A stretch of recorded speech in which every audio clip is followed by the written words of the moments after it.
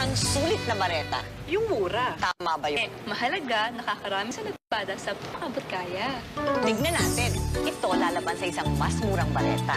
Ito sa tipid pahid, Mr. Clean. Sa Mr. Clean, konting pahid lang. Sa iba, pahid ng pahid. Makonsumo. Gano'ng karami ang kayang labhan? Parang, ano bagong Mr. Clean. Doble? Kaya! Tipid pahid, Mr. Clean. Konting pahiran, doble ang nalalaman. Ito na ang bagong Mr. Ko.